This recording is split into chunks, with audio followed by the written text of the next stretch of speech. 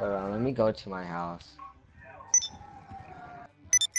Dude, she must feel really uncomfortable. Who? The boy? Yeah. He's transgender. Uh, must On be or this game, something. probably. Ask him if he's gay. I dare you. You I did. him. I'm so And I'll show you it. my next house if you ask him if he's gay. I did. He No, hasn't wanna see your responded. cra- I want to see your crappy house anyways. I got two swimming pools. And the other one. Jay, please look at the picture. It looks like a zom. They look like zombies. okay, okay. I'll I'll look. Wait, hold on.